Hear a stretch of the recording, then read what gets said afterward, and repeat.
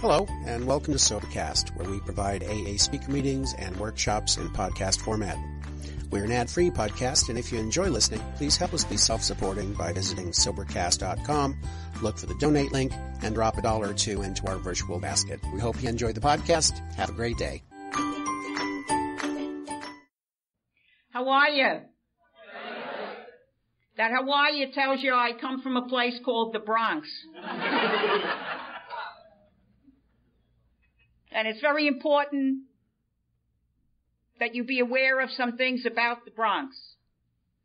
First and foremost, the people born in the Bronx are the only people in the world who can say, I do not have an accent.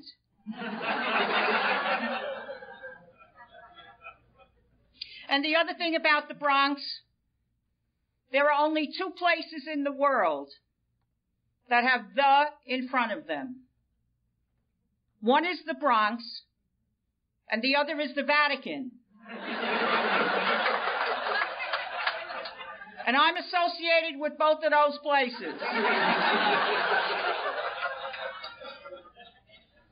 I would like to thank each of you for coming to be with me on this, the most important day of my life. It's not my birthday. It's not the anniversary of anything in particular. It's just simply the only day I have. And when people come to be with you at such a significant time in your life, you try to remember them. At least I do. And I'll try to remember you because you're here with me on this, the most important day of my life. I would like to thank this marvelous and wonderful committee, Bill, Linda, Sally, the rest of the committee, for inviting me to come and share my experience, strength, and hope with you. It's nice to be invited. There was a time in my life when people stopped inviting me. I used to go anyway. and then I'd make a 30 day retreat wondering why they didn't invite me back. So to be invited today, it's very, very special to me. These conventions are a marvelous and wonderful idea. But if we didn't have the love and the service of the trusted servants, I sometimes call them the chief honchos. We wouldn't be having conventions like this. So I would like to have us thank this committee one more time.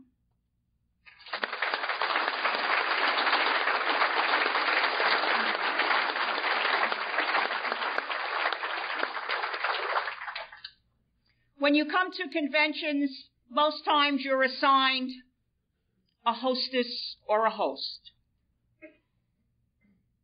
And I think we should give out plaques to the host and the hostess at these conventions. And if we were giving it out for this convention, my hostess would have gotten the first plaque. I would like to thank Yvonne and her wonderful, charming husband, Frank, for the care and concern that they have given me this weekend and my companion, Sister Rose. I say thank you so very, very much.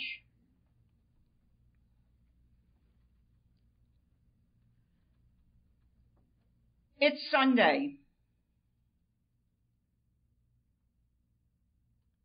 Some folks bow their heads in prayer.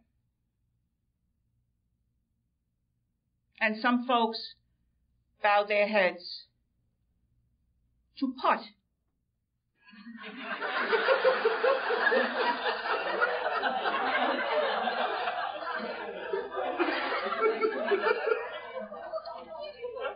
and different things happen in different churches, different denominations on Sunday. There's a church not too far from here and there's a sign outside the church for the Sunday morning service and it says Sunday morning service. Jesus walks on water. And then there's another sign that says evening service. Where is Jesus?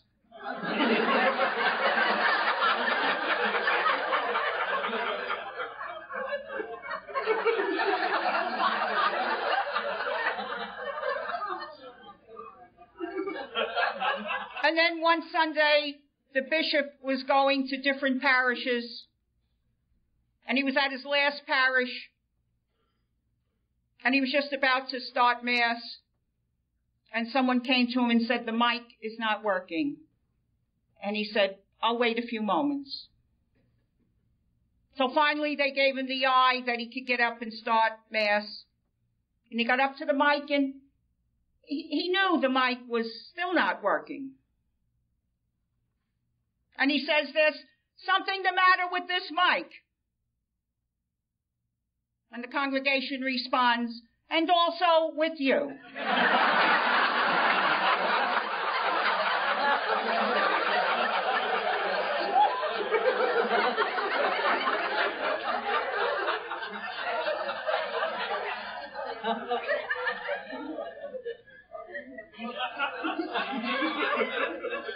and then there was the minister who was outside after the church service one Sunday morning greeting the parishioners. And a lady came up to him and she took his hands and she said to him, You are a model preacher.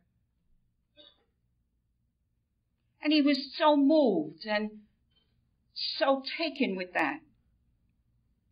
And he was flying the whole, the whole week. I am a model preacher. And Friday of that week, he was sitting at his desk and he was still thinking, I'm a model preacher. And there was a dictionary on the desk. And he opened it to the word model. And it said, poor imitation of the real thing.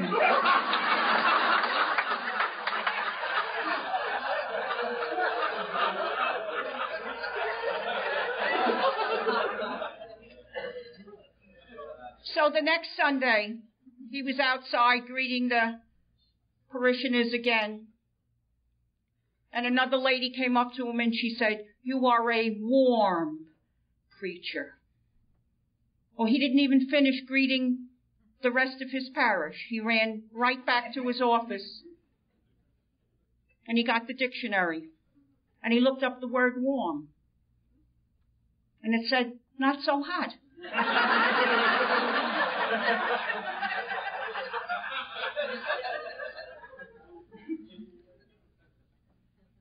I want to be assured that you're awake.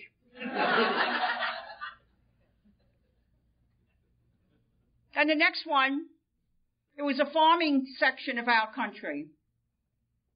And this was a newly assigned pastor.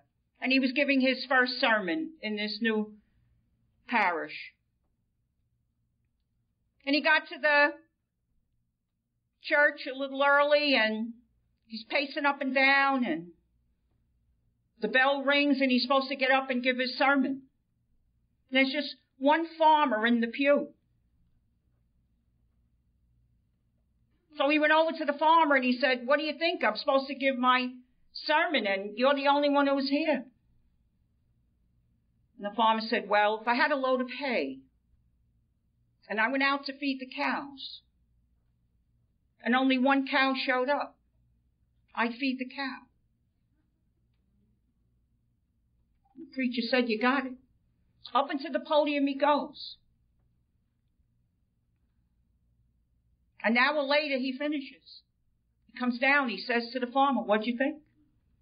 And the farmer said, well, if I had a load of hay and I went out to feed the cows and only one cow showed up, I don't think I'd give him the whole load.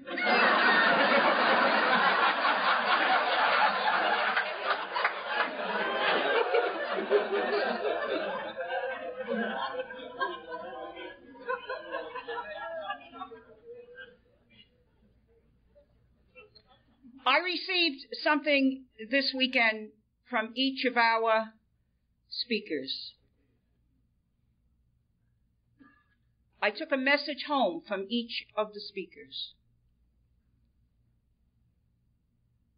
It's been a marvelous and wonderful experience for me.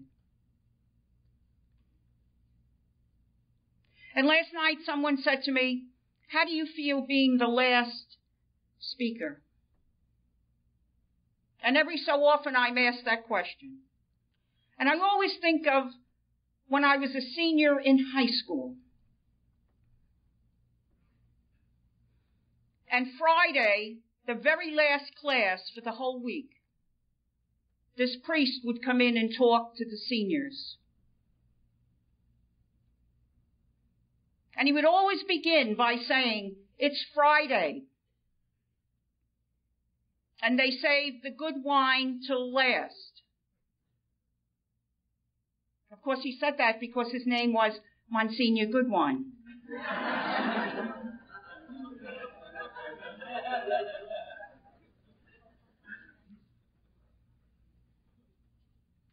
I stand in awe at this moment of God's love for me.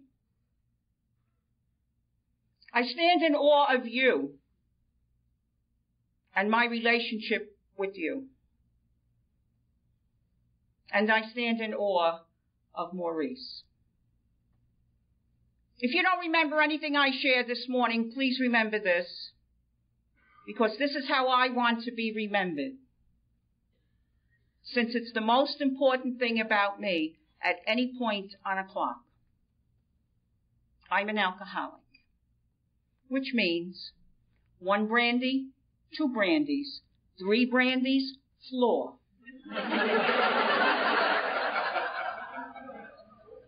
I'm a woman. I'm a member of a religious community. I'm an RN, a real nun.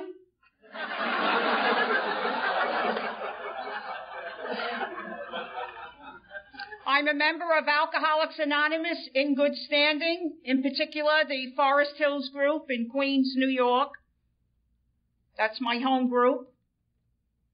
And the last thing I tell you about myself is my name. Incidentally, my name is Sister Maurice. One of the things that I'm partial to in our fellowship is that it's a fellowship of equals. There are no titles in Alcoholics Anonymous. No one really cares what you do for a living. I love that expression, fellowship of equals. I don't think there's another outfit in society that can claim that like we can. At least we'd match any other group that's out there.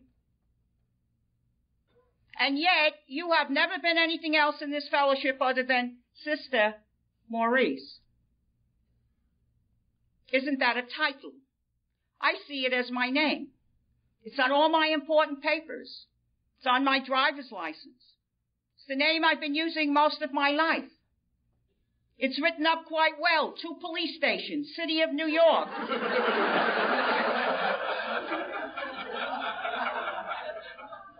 but moreover, it's the name that I gave to you when I came into your beautiful presence a while back now. A call had been made for me and I was to go to this Forest Hills group of Alcoholics Anonymous. And I really wasn't quite sure that someone of my class and caliber should be going to such a place as AA. So I was not a happy camper when I came. But little by slowly, thanks to you, that has all changed for me. So much so that I can say quite comfortably today, I choose to live the AA way of life. For a few years I said, I have to go to AA, I gotta go to AA, I better go to AA. But you know what? I don't have to, gotta, or better. I choose to live the AA way of life. And when I talk about something being a way of life, it's not an incidental experience. it's not something I do when the Spirit moves me. A way of life to me is as much a part of me as my right hand and my left hand. And that's the way I see Alcoholics Anonymous today. But for starters, I went to this first meeting. I went up the stairs, down the stairs, into a little room. There was one man in the room. He took a look at me. He came running across the room. He grabbed my hand. He told me who he was. And he said, What's your name? I said, Me? He said, Yeah, what's your name? Oh, I said, I'm Sister Maurice. Now, this man didn't say to me, Your mother doesn't call you that, does she? And he didn't say to me, We'll have a group conscience meeting and I'll get back to you. The very next thing the man said was, Hi, Sister Maurice. You're welcome. And in my over 33 years with you, no one has even suggested that I call myself anything else. So I've never been anything else in our fellowship other than Sister Maurice. The name is important. It's mine. But the most important thing about me at any point on a clock is what I told you first and foremost. I'm an alcoholic. And each and every time I say that, beginning first, when I awaken in the morning, I don't know how you sleep. Of course I don't. but I sleep primarily on my right side. And when I awaken in the morning, I don't even know I have two eyes. Because this one's buried in the pillow. Before I go looking for this eye, the very first thing I do, I announce before my God, I am an alcoholic. It sets the tone here, It puts me on the right wavelength. And any time thereafter that I say I'm an alcoholic, I am reminded that of all the things I do each day that God gives me, my most important job, work, task, assignment is that I stay sober. And I do that best through the principles and traditions of Alcoholics Anonymous as they have been written. When I came to you a while back, you gave me a book and you called it Big. I thought it was an interesting way you described the book. The gal who gave it to me was much shorter than I was, and she stood out in front of me and she said, Here is a big book.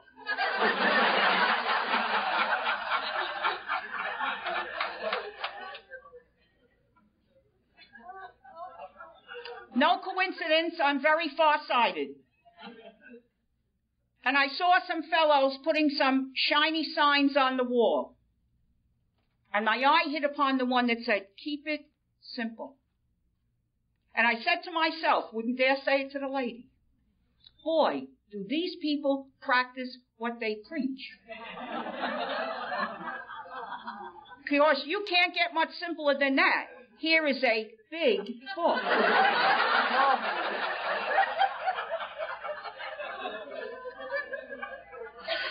of course, now we have the paperback, which I call the small, big book. I do not call it the small book, and I do not call it the little book. I call it the small, big book. Because there is another book in the bookstore called the small book. And it talks about being an alternative to Alcoholics Anonymous. So I call ours the small, big book. Well, you know, you introduce anything new in AA, they send for you. this fella came to me and had a small big book and he's pacing up and down. He's saying, Hey sister, you call this the small big book? I said, I do. He said, that's a contradiction. I said, what do you mean contradiction? He said, small, big, small, big. I thought for a moment and I said, well, for years we have had jumbo shrimp.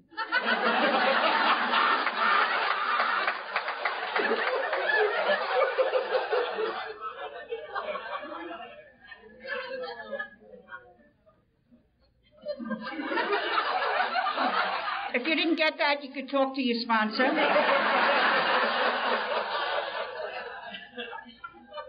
well, I took the book from you, the one that you called Big. And this is what you said to me. You told me I should read the big book of Alcoholics Anonymous. I should study the big book of Alcoholics Anonymous. I should believe what I found there. I should share what I believe, and I should practice what I share. And then you said, we suggest you do that along with the people who know how to do it best. And you called that outfit the fellowship. And then you put the whole thing together and you said to me, that is a design for living that really works. What do I know about anything? I said, let me see what I can do. And that design for living has worked so well for this lady here that I don't spend a fleeting moment of my precious time looking around for alternative ways to go. I need all the help I can get, believe you me, but it is always as a secondary measure to Alcoholics Anonymous.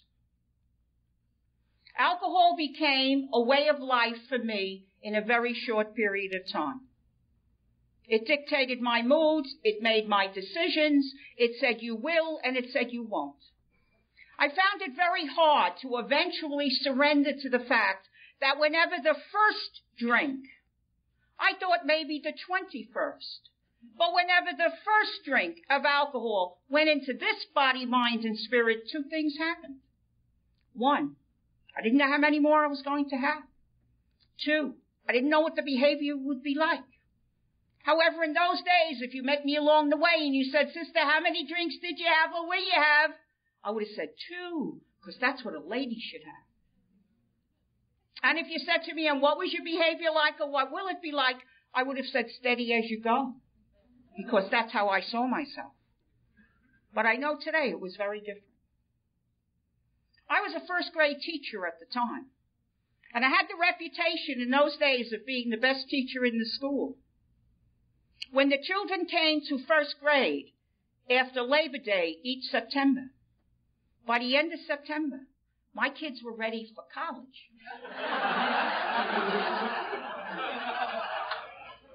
so at 10 o'clock in the morning, I'd be working very hard with these kids. And something would start in my body, mind, and spirit, and it would be screaming in there, you need a drink. And the very next thing I would do, morning after morning, I would put up against the screaming what people told me I had so much of.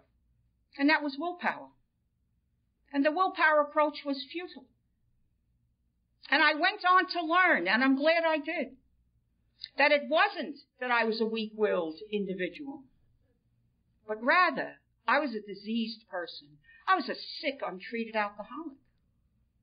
And when you're in that condition, it goes beyond the strength of your will to do other than to satisfy what's going on in there. So I'd move to the next phase of the game plan, morning after morning. And I'd say, well, it's a couple of minutes after 10. These kids can go out to the bathroom. Then they can have their snack. I'll get the teacher next door to keep an eye on them. Because I'm a responsible teacher. And then I'll run over to the convent, get a drink, be back when this is all over. And I'd be running across the yard to the convent, morning after morning. and this would be my thinking. This is going to be my last drink. At least until I've done my day's work.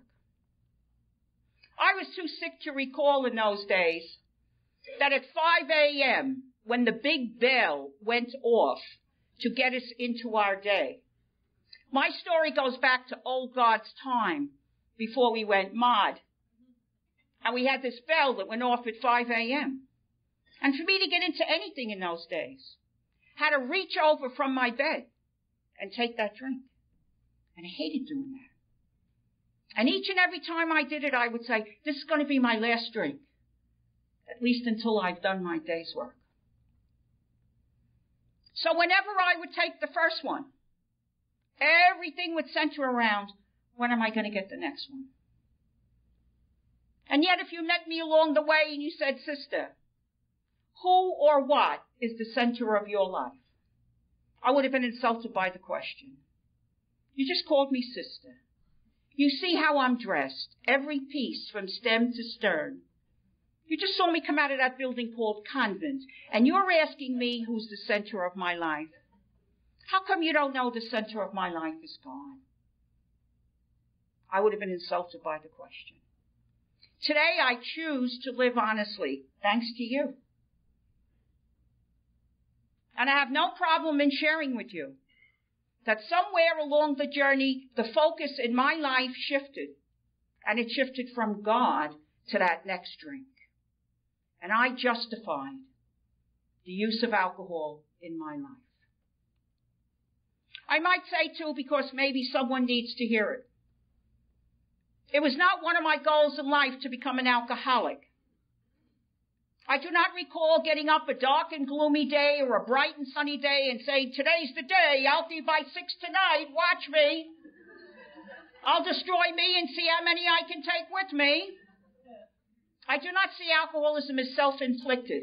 I believe it is a sickness that comes to a person.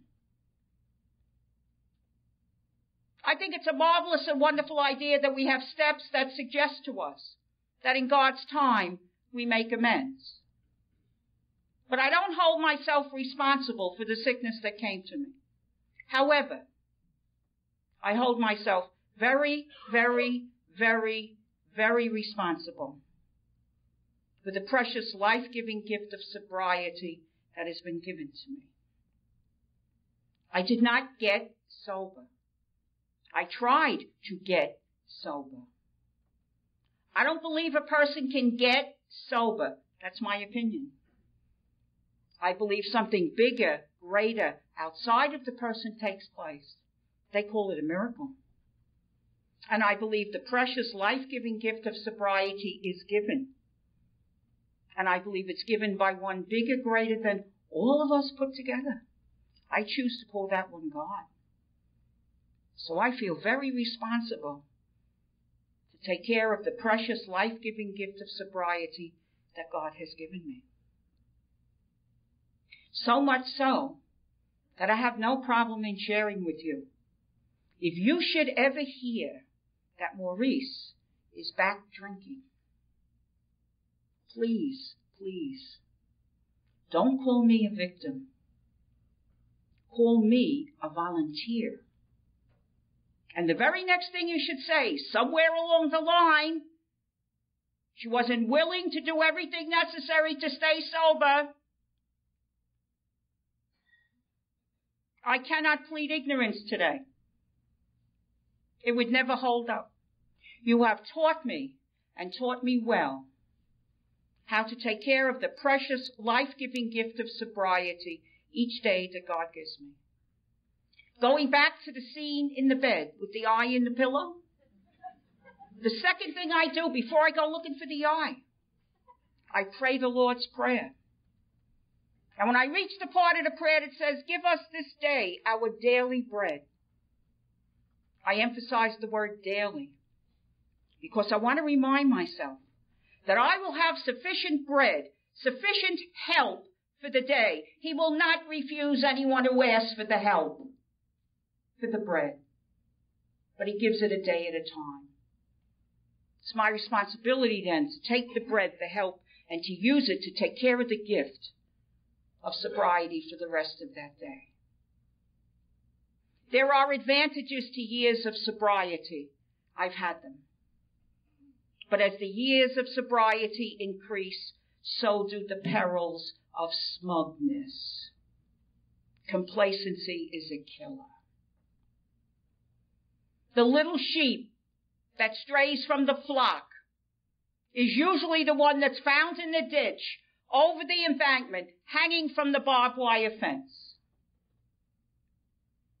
A favorite fruit of mine is a banana. And every time I eat a banana, I have a meditation. And the meditation is the banana that leaves the bunch is the one that gets skinned.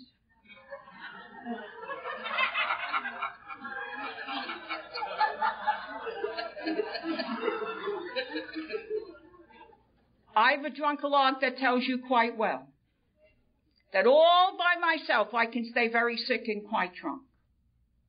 But I truly believe I cannot stay sober and fairly well without you. Well, how do you really know that, Maurice? You've never left us. When God was giving out ears I thought he said beers. and I said two large ones. I am an excellent listener to the experiences of other people.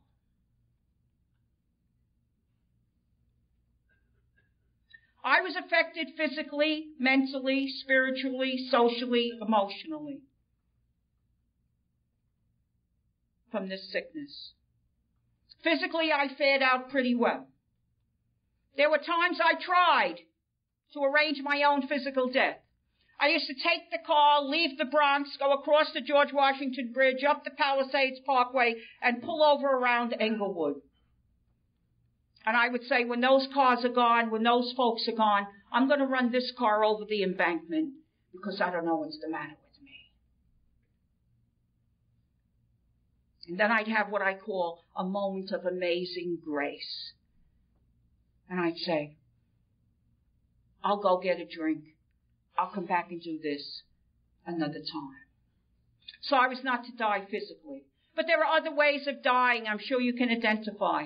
I suffered the death of my values. I suffered the death of my integrity. I suffered the death of everything I stood for as a woman, everything I stood for as a sister. All those areas of my life died.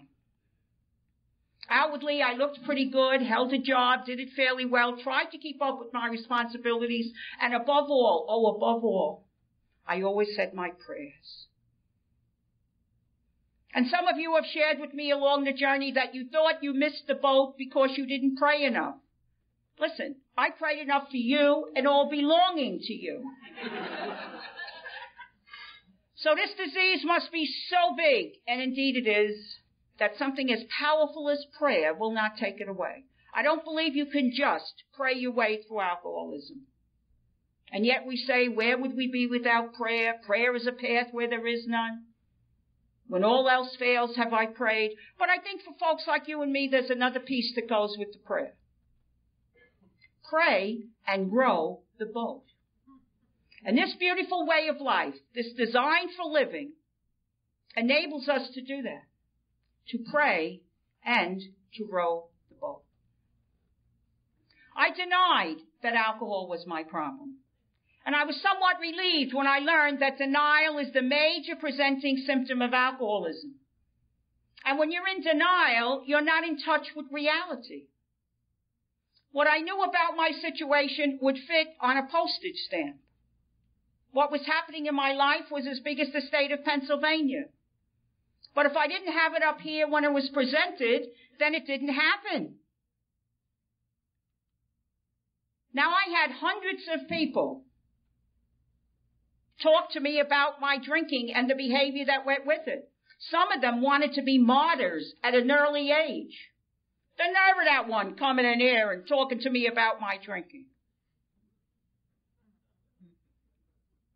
And there were many times that I exercised the denial. My mother was in the hospital, hospital for special surgery in New York City. Very fine hospital. She was having a total hip operation. She was there for months and months. The operation wasn't as perfected then as it is today. Now I think they do it going up and down in the elevator.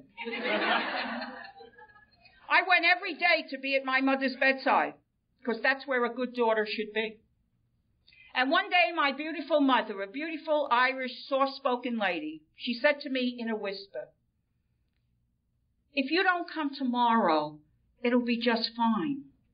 You must have a lot of work to do around the convent and the school. Why don't you skip a few days? And I sat there thinking, wow, there she is with all her pain, and she's thinking of me. But I know today, because I'm in touch with reality, thanks to you, that my beautiful mother could not bring herself to say, You're an embarrassment to me. You're no help to me. I don't need you around this hospital drunk. Now I have one sister, no brothers, one sister, and she's also a sister. Do you get that? I call her, I don't call her sister, but she is a sister. She's my sister. And during my active alcoholism, my sister secretly wished she joined a missionary community and lived in Mexico. It's very hard to be proud of a sick, untreated alcoholic. Well, my sister came to the hospital to visit my mother, and she gave me one of those come outside the door kind of wings. I dutifully went outside. I figured she needed my advice, my opinion, whatever. My sister is very tall. She towers over me. And like my mother, she's a beautiful, soft-spoken lady. And in a whisper, she says to me, why? Why would you come to this hospital at four o'clock in the afternoon drinking? I was just about to give a lecture when it dawned on me. We've been down this road a hundred times before. To the best of my recollection, not a word did I speak. But being a typical alcoholic, and that's all that I am, typical alcoholic, couldn't let well enough alone. So I took my right hand, the more powerful of my two, and I belted her. Shortly thereafter, two nurses came running down the hall and they are yelling, Sisters! Sisters! Sisters!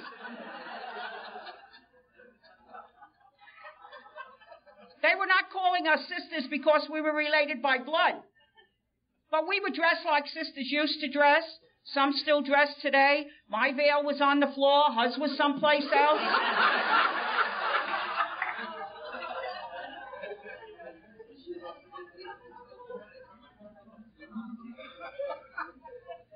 now I learned a few years later that one of the major rules of this hospital is that no patient leaves their room unescorted. They were coming out crutches, wheelchairs, all fours. Because the word got around quickly there were two nuns out there killing one another. now, in the midst of this chaos, I had a couple of thoughts. Interesting enough, maybe you'll identify. I did not have the thought, maybe I shouldn't have belted her. I did not have the thought. Maybe I shouldn't have had the last drink before I came down here. My major thought, as I'm staring at my sister, is, why did she scream? well, you know, I look back today with a sober, clear head. Do you know it's perfectly normal you belt someone, they let out a hoot? The other concern I had, my purse had fallen onto the floor, making a rather loud sound as it fell to the floor. I was a little distracted with the purse. I wasn't too concerned about the few dollars in the purse. I have a vow of poverty. I kept it quite well during this time. But I was very concerned about the pint of holy water in the purse.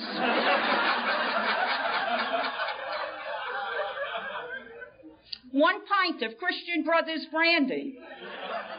And what is the thinking of a sick, untreated alcoholic? No one leaves here with that purse other than you know who. Now, there's only one word to describe someone who'd be in that position.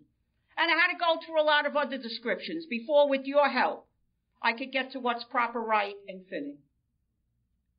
And if there's anyone in this gathering who still sees themselves in this first grouping, I would suggest that you leave that thinking in this room because it does not apply. I had to go through bad, hopeless, weak-willed, sinner. You should know better. But the way I would describe someone today would be sick, unwell, not playing with full deck. That's respectful. Or I heard a fellow one night at a meeting, he described himself. He said he was a quart low. I heard another fellow another night, he said he had a photogenic mind. He just never had any film in the camera.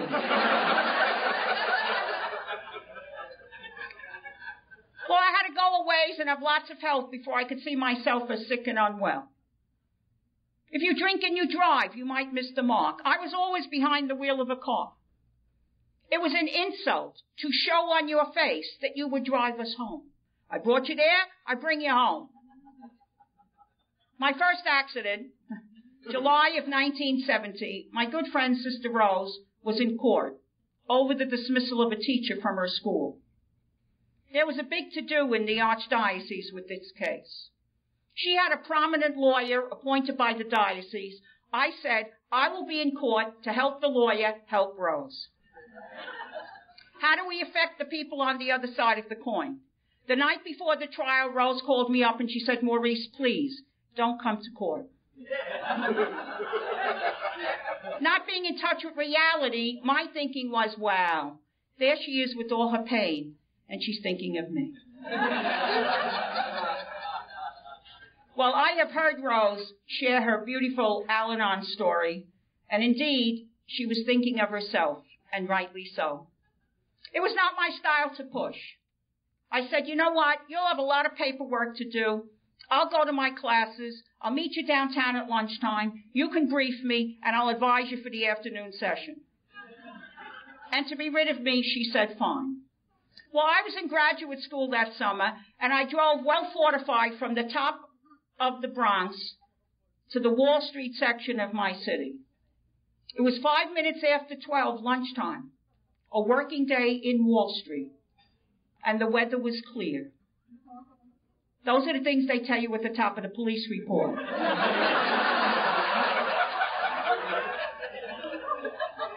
it's important for folks like you and me to know the weather. A United States mail truck that was parked by the curb minding its own business got in my way. And I smashed into it. And when the policeman came on the driver's side, first word out of his mouth, you couldn't miss it. He said, Sister, now I was a little taken back by the next part. He didn't say, sister, are you hurt? Could I call someone? You think women will ever be ordained? he said, sister, could you have been drinking? And for a fleeting moment, I wondered, how did this guy get on the police force? As was my style, officer, could I help you? So I proceeded to tell the officer about my friend who was in court being persecuted, etc., etc. Well, I went into a blackout, eventually a pass out. I woke up in a convent a short distance away. I woke up in a strange bed. Half my clothes on, half my clothes off. I'm looking around saying, where am I? How did I get here? It certainly wasn't my custom then. It's not my custom today. To wake up in strange beds. Well, I'm around long enough to know that you have your story, but.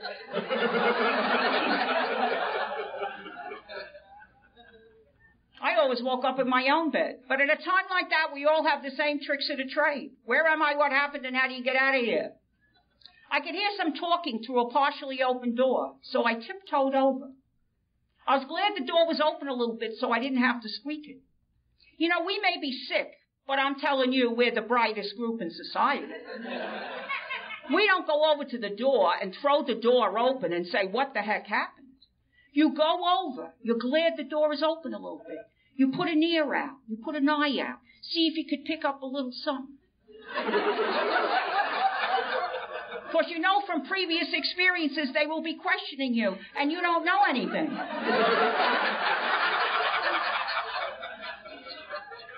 So I peek out and I see Rose. And I knew as long as Rose was there, everything was going to be fine. The other sister, neither of us knew the lady. She was about seven feet tall, and she was like a lunatic. And I got to the door as the big tall lady is screaming at Rose, Your friend is on pills, or she's drinking. And in order to help her, you're going to have to hurt her. I thought that was poor advice. So I took the eye and the ear in. I went back to bed to get a little rest to handle Rose, who came in and asked the going question in our lines at that time. What happened? I told it as I saw it. I lost control of the car because I was so upset about the court case. Now, in those days, the car was in my mother's name. My mother didn't know about the accident. I had the car fixed, back out on the road. Three weeks had passed. Every time you talked to Rose, she had this question. When are we going to tell your mother about the accident? Never. Why do you want to tell my mother? Well, the car's in her name. So what? The car's fixed. then the fears that set in for a sick, untreated alcoholic. What if Rose tells your mother? so I called Rose up, invited her out for supper, my treat, took her to a little restaurant, leaned across the table in the restaurant and said, If you dare to tell my mother about the accident, someday you will come out of your convent. I'll be sitting in a car. And when you cross the street, that will be it.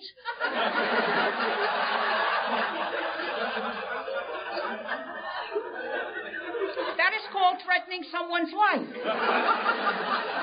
Now, I always share my, that in my story, and one night, a hundred years ago now, that means a long time, I was speaking someplace, and we had a friend at the meeting. She's not in program, but she came to hear me speak.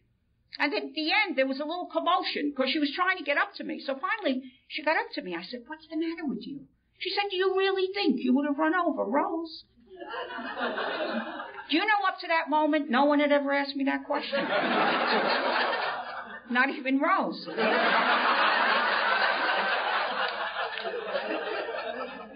I said, Let me tell it to you this way. Of myself, no. I wouldn't hurt a fly. As a little tot, teenager, young adult, in the convent a hundred years, that means a long time, I was always hiding out. What did I have to offer? I was like part of the woodwork, part of the drapes. I'm in nothing. I wouldn't harm you. But you know, you put one drink in here. The first one.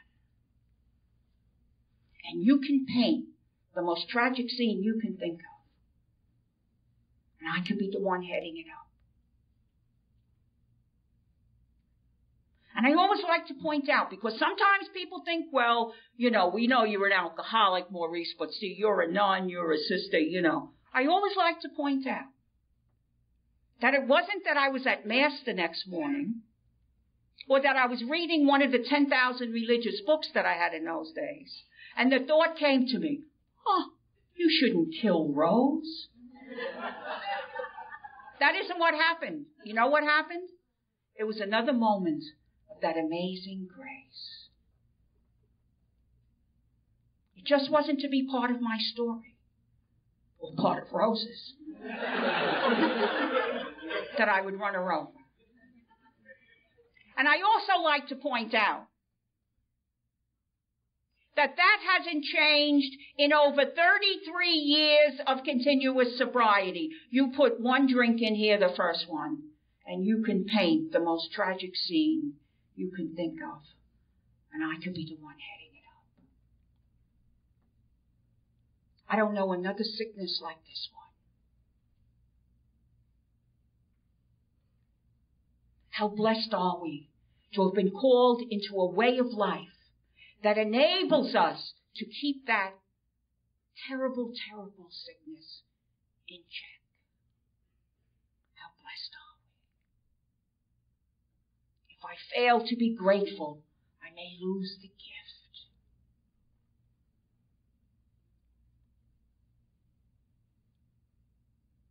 Well, the disease was moving along, and one day I got a call from my boss. Now, in those days, you never ever heard from the big boss. For her to call you personally would be in the same category as the Pope called you up and said, Come to Rome. She called me personally. If she did call you personally, it was for either of two reasons. One, you were in trouble. Or there was a special assignment that only you could do. So I'm driving up to see the boss. And this is my thinking. I have enough to do.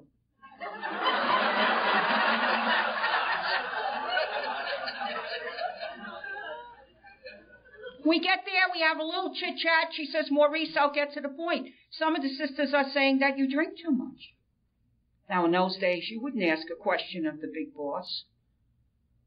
I asked a question. I stuttered when I asked it, but I asked it. I said, well, where are they?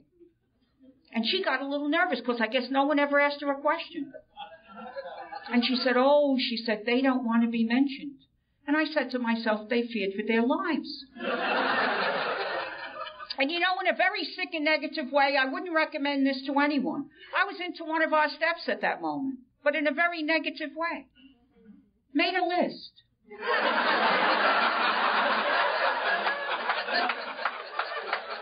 Of all people who had harmed me and asked God to be rid of them. Well, I asked her another question. I said, do you really know anything about me? She said, well, I have a file. So she went over and she peeked in and she said, oh, this is wonderful. She said, I didn't know you were doing this in the diocese and you just got this award. Well, she closed the file and she said, Maurice, I will never ever again believe this about any of our sisters. I said, that's a good policy to follow. She gave me an apology and off I went. And I walked back to the car and I had one thought, it was right here. She will never, ever, ever send for me again. She never did. Next time she arrived unannounced and put me away.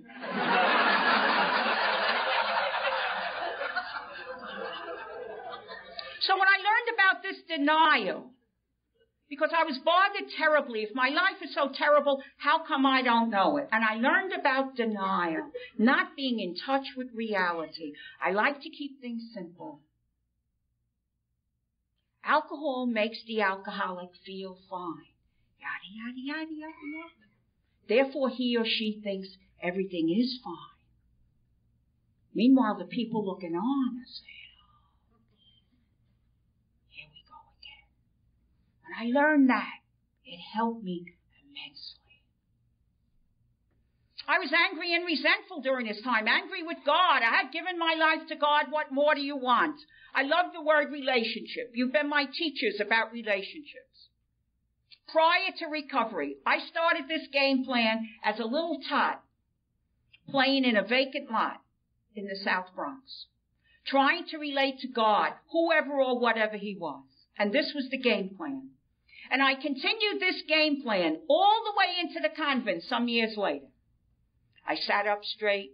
I knelt up straight. I disciplined myself. And you know, we didn't have the expression in those days, but the expression that would have applied, been there, done that.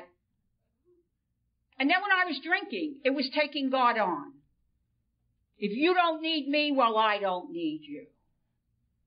If I don't need someone bigger, greater, outside of this lady here, I wonder who I think I am.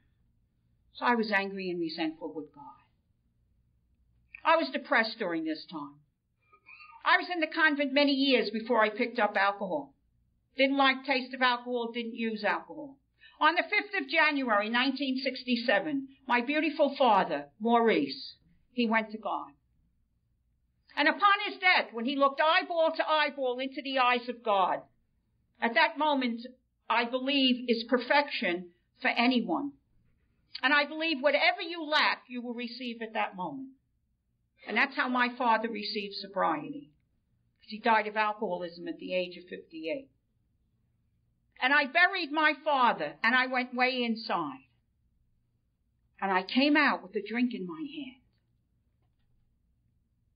And I can say quite comfortably today that my father and myself were carbon copies of one another with one big difference. The way we were to receive the precious life-giving gift of sobriety. So I was using alcohol to lift me out of a depression. I was getting more depressed. The bargaining stage. One bargain I like to share on. I got into bed this particular night, always had my prayer beads, rosary beads, praying away, hanging on to the sheets with the other hand. I'm no sooner in the bed and I have to get up and get a drink. And I said to God, first time ever, I don't want to drink anymore tonight. Please help me. I'll do more work for you and for you people. Please don't let me drink tonight. We'll see, the first drink of the day always has the final say. And of course, we had had that. So the covers get pushed back and the prayer beads go to the floor and you get up and you crawl along in the dark and you find your hiding spot and you get your bottle and you do something you don't want to do. You take another drink. And after I took that drink that night, I beat that floor and I doubted the existence of God. How could a God who loved me, a God that I was to relate to, I just asked you to help me. I'll bet there's no God. I live in the heart of New York City. And when I'm in town, I drive on the FDR Drive, the East River Drive, and I see our brothers and sisters, yours and mine. They're on both sides of the highway there. They build their homes there out of cardboard boxes and crates, and you see them frying an egg. They need a jacket, pair of shoes.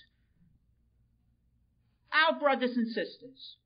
And you know, if they went over to the guardrail and beat the guardrail and doubted the existence of God, we'd say, poor socks, what they got going for them. I'm in a beautiful convent. I want for nothing, and alcohol brought me to the point where I doubted the existence of God. As we say in here, whether you come from Yale or jail, Park Avenue, Park Bench, what does it matter where you came from? I think it's very important to get to know your history, your story. But I put more energy into where do we go from here? Whatever happened this morning, yesterday, a week ago, a year ago, or a hundred years ago, you have taught me to learn from the experience, but not to let it stand in the way of putting one foot in front of the other and being that person that God created you to be.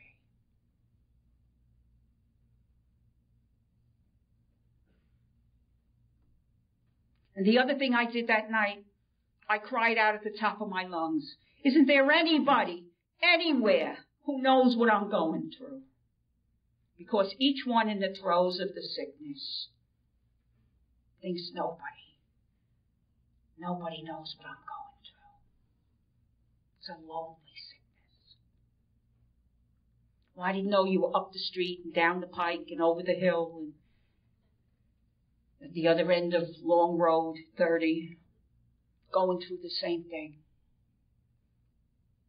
But I'm mighty glad that somewhere along the line God saw fit that we would find one another in this beautiful fellowship. And it is God who has arranged our meeting. I truly believe that. C.S. Lewis, you've heard of him. He says in one of his writings about relationships, he talks about relationships in general, and he says it's as if God says to the people in the relationship, you have not chosen one another, but I, God, have chosen you for one another. If you think of the relationships that you have in the fellowship, would you of yourself have chosen those people? Maybe yes, maybe no. I like to think it was arranged. Like happened at the Gatehouse in Akron, Ohio, some time back with Bill Wilson and Dr. Bob. And do you know, as a result of that arranged relationship, that's how we get to be here this morning.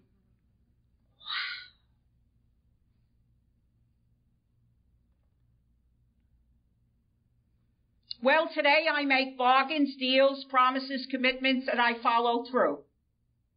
I attribute that to one fact and one fact only. I don't drink alcohol while I'm sober. Very significant to Maurice's life.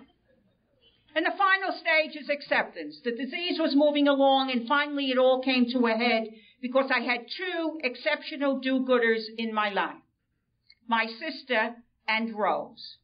And keeping it very simple, they snitched. They blew the whistle and turned me in to the boss that I had charmed a few months before.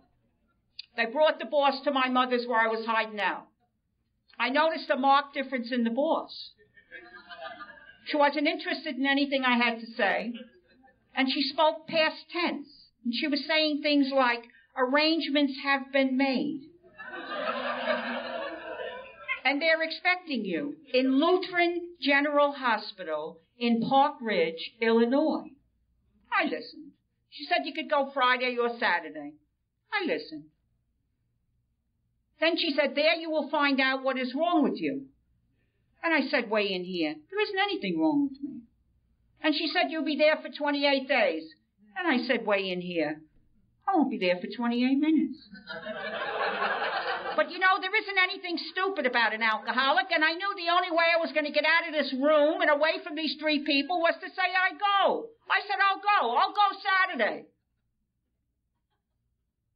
So I went out on an AA plane, American Airlines, the way I like to go.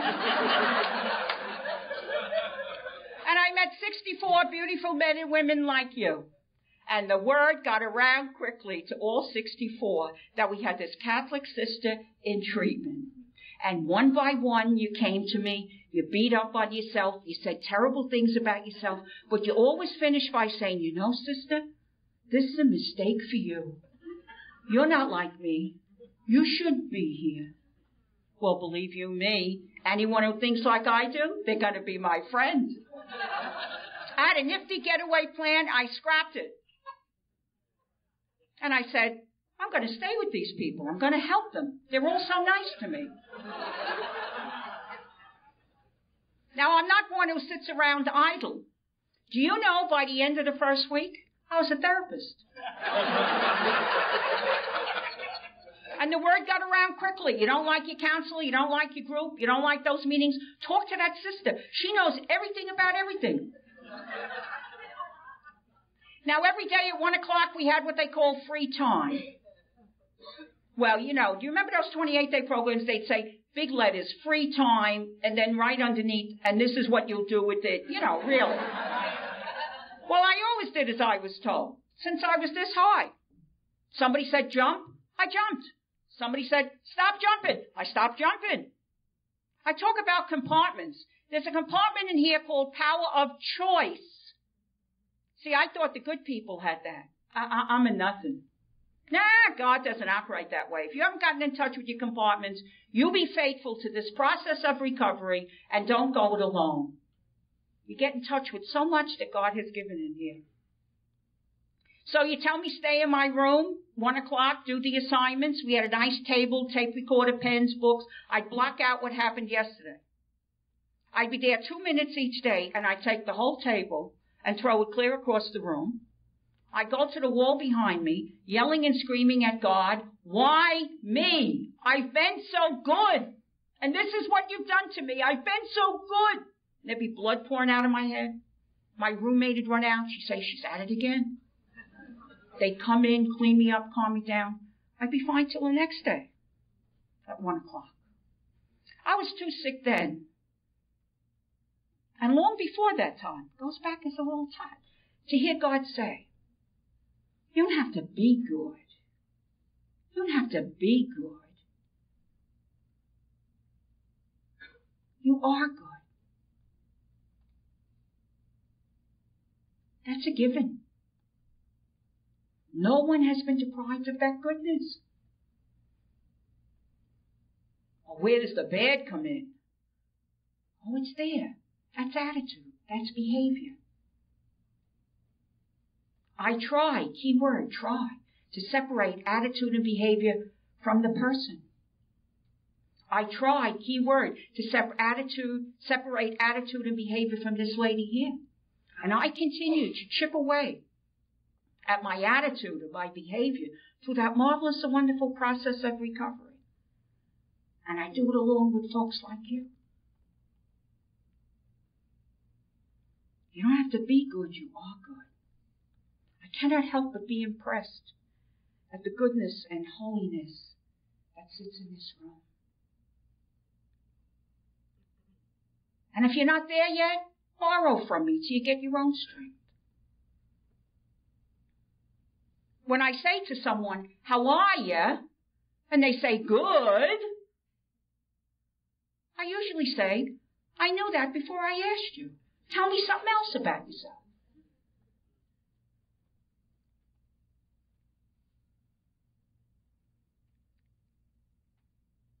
I don't think there's another outfit in the world that mentions the words spiritual and spirituality more than folks like you and me. The key to spirituality, I believe, is getting in touch with your own goodness. And this beautiful way of life. And going along with the folks, our brothers and sisters in the rooms, helps you to get in touch with that. It's the only help I've had.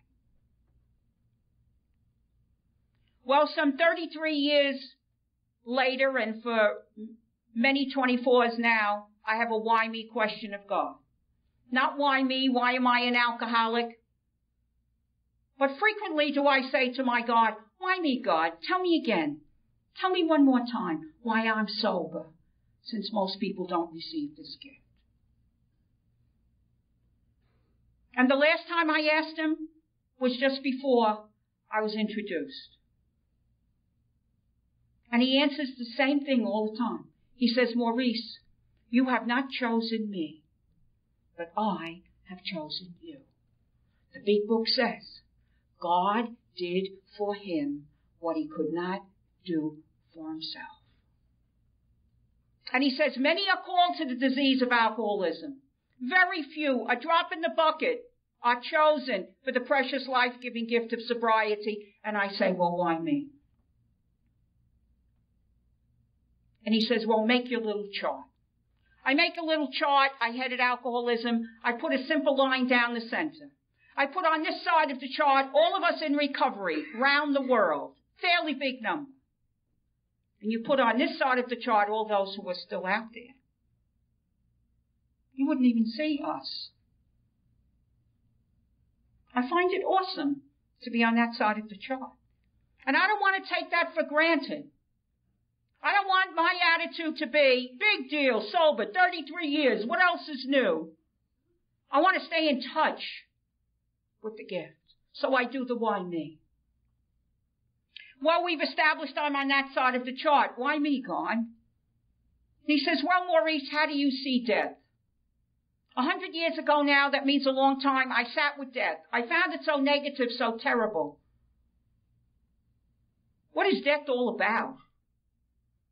And I had some tapes and I was doing some reading and just meditating on death. And I read a line that I had read many times before, but this time I had a moment of amazing grace. And the line is, there's a time to be born. There's a time to die. And that's on God's calendar. And I believe any person goes to God in death, regardless of age or circumstances, when their work here on earth is finished. I do not see the God of my understanding, the God that I learned about from you. I do not see him as a yo-yo. Well, I'm taking this one for that reason and I'm gonna leave these three and this one. No. But your work is finished. That helps me. I may have more work for that person to do. But on God's calendar, their work is finished. And the other thing that helps me with that, I'll see those people again when my work is finished. The point. Untreated alcoholism is still listed as an ultimate terminal condition, 100% fatal. And here we are. Well, I believe our death has been interrupted. Of course, our work's not finished. There'll be tragedy in our eh, tragedy in our world today. Some people will go to God, their work is finished. Others will be saved. Their work is not finished. Those who are saved, I don't know what their work is. More will be revealed to them. I believe ours is defined. It's a specialized work. And nobody does it as well as the people in the rooms. It's to carry a message. It's to walk with. It's to pass it on. It's to be that fellowship. With all due respect, to the church, the medical profession, other forms of help. They do a lot for us. But there's just something about one alcoholic sharing with another alcoholic, like happened at the Gatehouse in Akron, Ohio, some time back. So my major assignment from God on any given day and I take the liberty of saying I believe mine is the same as yours. It's to take care of the precious life-giving gift of sobriety and to carry a message. To walk with, to pass it on, to be the fellowship. And many ways to carry a message. Pontificating at a podium is one way to carry a message. The message has been carried to me this entire weekend and some folks haven't even been saying anything. And that's why we're called a program of attraction rather than promotion.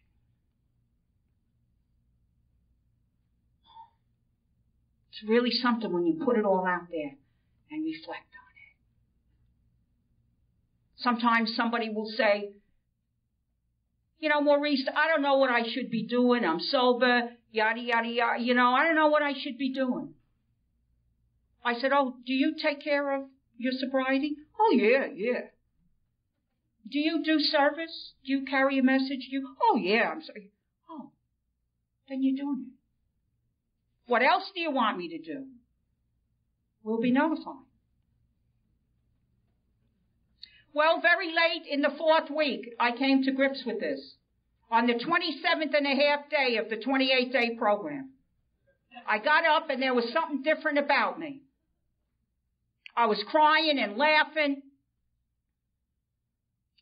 And I ran out and I wanted to see my counselor. And I went down to see my counselor, a beautiful Lutheran minister, my one-on-one counselor, and I, I said to him, Reverend, I said, I, I, just want you to know, I'm really an alcoholic. I'm not mouthing it. I'm, I'm, I'm really, I'm really an alcoholic. And this beautiful minister, he, my counselor, he did something that he never did in any of our sessions. He started dancing around the room. and he got so excited. And he said, I have a prescription for you to go to Alcoholics Anonymous. And he said, if you're faithful to the prescription, you'll only have to return here as our guest. I said, I won't make you any promises. I'll see what I can do. And by that amazing grace of God as it operates in rooms like this and my cooperation with the grace, we know the program works, but if we don't work the program, it doesn't work for us. So by my cooperation, my doing my part, I haven't found it necessary to pick up a drink or any substitute since April 17th, 1971. I am not one who says I will never drink again. If I thought I would never drink again, perhaps I wouldn't be as faithful. Early this morning, I asked for daily bread. We'll see how tomorrow goes. I came into the rooms and I did the old one too. I didn't drink and I went to meetings and I went to meetings and I didn't drink and I didn't drink and I went to meetings and I could always be found sitting in the third row waiting for this thing to be finished, but they weren't going to say I wasn't there. And one night I heard a fellow share and this is what he said. He said he learned that unless he put the 12 suggested steps into his life and made some changes, he could very well lose his sobriety. And I sat up real tall put a little smirk on my face because I was sure he was going to say, we don't mean that for the little sister there in the third row. and he never said it. And with the help of my sponsor and some other beautiful folks, I learned why I was so miserable. Oh, I heard you say, change or die. And I used to poke the one next to me and say, isn't there something in between? But that's what it comes down to if you're an alcoholic. You're always in motion. There's no such thing as I'm stuck. That would be a luxury. We're getting weller or we're going back. No big deal about it. We have a marvelous and wonderful process of recovery. Beautiful folks to walk with us. My responsibility before God, I'll try. God doesn't concern himself with success or failure, and neither do I. He blesses effort. And my responsibility is to try. So little by slowly, change started to come about and continues to come about right up to this moment. Because I continue to be a student of the principles and traditions of Alcoholics Anonymous, and I do it along with folks like you. And three major changes started to happen and continue to happen right up to this moment. The first had to do with the intellect. When I came to you, I had this postage stamp thinking. My thinking went like this. Ready, fire, aim. I was to the extreme in my thinking. I was either a one or a ten. I wasn't interested in two to nine. And we talked about that. And you said, our program teaches us balance. And you helped me to get away from those extremes. And you told me to work those suggested steps and not go it alone, and it would do wonders for my head up here. And I've had what I call an intellectual conversion. And then the moral conversion. I lost my value system because of this disease. And that bothered me terribly. And we talked about that. And you said, Maurice, be faithful to those 12 suggested steps and don't go it alone. You'll get your value system back. You'll be able to put first things first and second things second. And when you're wrong, you'll be able to promptly admit it. You'll be able to practice your principles in all your affairs. You'll even be able to practice the principles and you won't have affairs. and I've had what I call a moral conversion. And the third was the spiritual. You were always talking about spirituality, spiritual program. And I used to say to myself, you know, I'm glad they have a little something. That sounds good. But see, I have religion. Do you know when I first came into Alcoholics Anonymous, I could not go into a meeting straight in the door. I had to go in sideways for a while. Because I had these flags in my ears. Catholic, Catholic, very, very Catholic. And we talked about that. And you said, Maurice, our program teaches us balance. And you helped me to get centered with my religion. I have the same religion that I was brought up with. You also gave me a wonderful technique, which I use in many areas of my life, one of which is my religion. I take what helps me and I leave the rest. And then I said, well, okay, tell me about this spirituality. You said it has to do with relationships. Oh, I said, I didn't know that. He said, yeah, relating to a, a higher power. It has to do with relating to other people. Oh, that's terrific. And you said it also has to do with relating to yourself. And I got very sad because I said, oh, there's nothing here to relate to. I guess I'll never have spirituality. And you said, we'll help you get in touch. And you have taught me the true meaning of love your neighbor as yourself, not instead of yourself. You have taught me this above all to thine own self be true. You have taught me if it is virtue to love my neighbor, it must be virtue and not a vice to love myself. And little by slowly with your help, I got in touch with the light and the life that God had given. Me. And today I have a life-giving, healthy, meaningful spirituality. And the only help I've had is that process of recovery and doing it along with folks like you. So when God gives the gift of sobriety, I believe he says three things to us. One, I'm interrupting your debt. Your work's not finished. Carry a message. Walk with. Pass it on. Be that fellowship. Two, you will share relationship with these people. They will come into your life and you will come into theirs. And he says, third, with this gift of sobriety, I give you your dignity. Walk tall. And so my prayer for you as you go about your appointed rounds a day at a time is that you'll continue to have your sobriety, your recovery, and as a result of that, I just know. I just know you'll have your dignity. And I close. The miracle takes place. She does close. I close first with a piece from the big book if you haven't identified thus far, perhaps you can identify with this from the chapter, Me an Alcoholic. Here I found an ingredient that had been lacking in any other effort I had made to save myself. Here was power. Here was power to live to the end of any given day. Power to have courage to face the next day. Power to have friends. Power to help people. Power to be sane. Power to stay sober. Once again, I'd like to thank you for being here with me on this, the most important day of my life.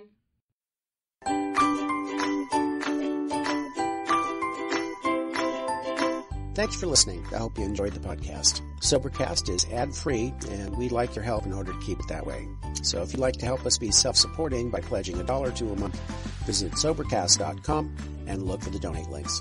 Thank you very much.